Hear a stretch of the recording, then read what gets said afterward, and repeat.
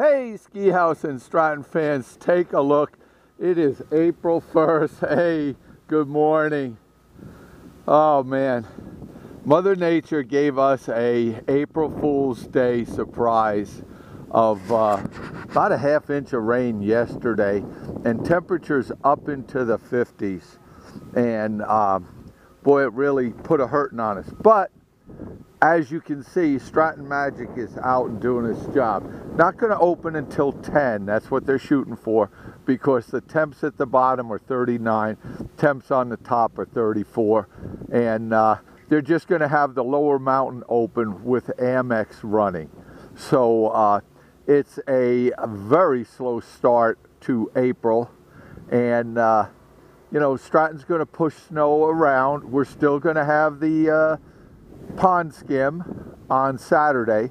So, uh, hey, get here, get your uh, entry, and then get ready to slide and glide over a smooth pond of water. And uh, hopefully you make it.